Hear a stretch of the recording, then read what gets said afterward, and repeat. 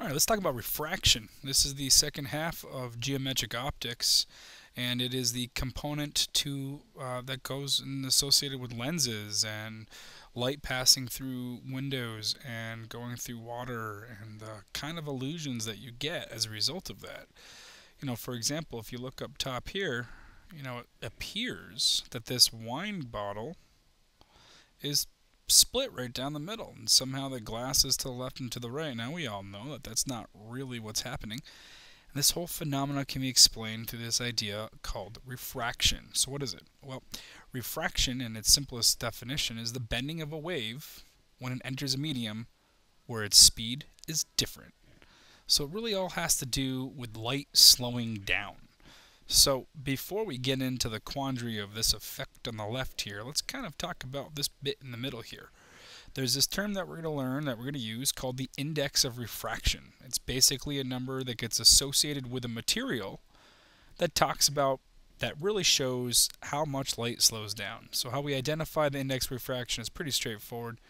You're going to take the absolute speed of light, that's the c value here, 3 times 10 to the 8 meters per second. And so c is the speed of light in a vacuum, which means no medium, no material at all, basically space. And c for all waves of light, so all waves within the electromagnetic spectrum, is 3 times 10 to the 8 meters per second. Again, this is everything in the EM spectrum, not just visible light. We're talking radio waves, microwaves, gamma rays, the whole deal. And so the index of refraction of a material is the ability to slow that light down. So it'll be the speed, the absolute speed of light, c, divided by the actual speed of light in that material. So if v slows down a lot, let's say v is half of the normal speed of light, so instead of it being 3 times 10 to the 8, maybe it's 1.5 times 10 to the 8, you would simply do 3 times 10 to the 8 divided by 1.5 times 10 to the 8, which turns into 2. So it's just a ratio, and basically that means the speed gets cut in half. A lot of folks will refer to the index of refraction as the optical density. Don't get that mixed up with actual density because it's not necessarily, it could be, but it's really the optical density, the ability to slow light down. So something's very optically dense, it'll slow light down a lot. If it's not really optically dense, then it won't slow down much at all. And you will find that there are tables that show you the index of refraction for various materials. Of course, we're going to have materials that light can actually pass through. So you're not going to find, you know, solid blocks of steel written here because light won't pass through that. So it's going to be mostly uh, fluids and glass-like objects. Um, let's take a note of a few things. For example, air has an index of refraction of 1. Now that's not actually true. It's more like 1.00 and change. Uh, it's just a little bit higher than 1. Um, so for more, more or less, we treat air like a vacuum, which means that light travels at c, 3 by 10 to the 8 meters per second when traveling through air. And then we see something like diamond. Diamond is very optically dense. It will capture light and slow it down quite a bit. In fact, that's why diamond tends to glimmer and shimmer. That's why people like it. And then we have other things like glycerol, lucite. These are you know various different substances that'll slow light down based on the material. And as a result, they'll have their own index refraction. Now these indices are all experimentally determined. There's nothing in theory that says water needs to be 1.33. It just happened to be 1.33 through experimentation. So why does light slow down? Well, there's a couple ways I'm going to try to explain it. The most common route is talking about an analogy of light in a medium to a two-wheeled axle rolling along a surface. If I take a two-wheeled axle and I let it roll along smooth pavement, it's going to roll nice and parallel to its motion until it starts to hit the new medium. Now if it's approaching our new medium at an angle, and that new medium in this case is mud, you'll see that part of that car, that tire I should say, that axle, enters the mud before the other part. As a result, this portion slows down sooner than this portion. This side, over on the right side, is trying to go faster, and as a result, it's going to cause the whole thing to bend inward a little bit. I'm sure you've experienced something similar to this. You don't believe me? Take a two-wheeled object, or even a four-wheeled object, and roll it across maybe your hardwood floor to the carpet at some angle, you'll notice it turn a little bit. And so it's going to turn towards a center line. And so we're going to refer to this center line as our normal line. So where the medium meets, where the two boundaries exist, draw a normal line. And when you go from something of lower density to higher density, the object will bend towards that normal line. So that's the case for light as well. You'll notice that light, when going from air to glass, in this example, the incident angle, which remember is always drawn in reference to the normal, that's still true. The incident angle will be bigger than the refracted angle. And so therefore it bent towards the normal line. It went towards the normal line. So theta 2 which is sometimes written as theta r, in this example is less than theta 1, which is often written as theta i, your incident angle. We can show that in this little simulation here too. As I change the angle, that ability to bend might change, but ultimately you see uh, this wave front bending inward, again towards that normal line. What happens when we're straight on? Is there any bending at all? No, there's not. You do need to understand, though, that light will still slow down when entering this medium, right, as you see here. The angle just won't change. It won't miraculously start turning left or right. If it's going straight on, it's going to keep going straight on but slow down. And that analogy of the two-wheeled vehicle is still true there. If you take a two-wheeled vehicle on pavement and you push it straight towards the mud, once it enters that mud, it's going to keep going straight as long as both wheels hit the mud at the same time. It's just going to slow down. So again, you go from less optically dense or a low index of refraction to a higher index of refraction. It bends towards the center. This is a great tool to remember. And so the opposite is true when we're going from a more dense medium to a lower dense medium.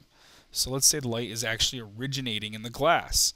As light tries to leave the glass, it's going to bend away from the normal line. So in this example, my index of refraction, I'm sorry, my angle of incidence right here is inside the glass. So this is what we might call theta 1. And then my refracted angle, which might be theta r, we'll call theta 2. And in this example, theta 2 is going to be bigger than theta 1. And again, that two-wheeled object traveling from the mud to the pavement really still works. It's driving maybe at a slow rate, and then once one wheel exits that mud first, it's going to be able to speed up a little bit. It's not going to have as much resistance, and it's going to turn a little bit. But then once it's completely out of that mud, it'll be traveling at a nice consistent value and the nice same orientation. And again, uh, this can be shown in this example here. Uh, we might be in a heavier medium or a more dense medium here, I should say, and then it bends outward. Okay, so when it speeds up, it bends away from the normal. And we'll go back over here. When it slows down, it bends towards the normal. And it turns out that this kind of origin of material to the angle of incidence and how it changes in your new material ends up being a nice, perfect little ratio that we call Snell's law. And it's a really straightforward rule that deals with refraction and it basically states that light that originates in one material times the sine of that angle in which it falls incident upon our new material must equal the new index times your refracted angle, sine of your refracted angle. Or ultimately, um, this ratio of n to sine, or n sine, must maintain the same value. So if the n goes up, the angle goes down. If the n goes down, the angle goes up. It's going to be pretty straightforward to apply this equation. Once you know what medium it begins in, maybe that'll be N1, you look at your tables that, are, that are usually provided and figure out what that N1 is.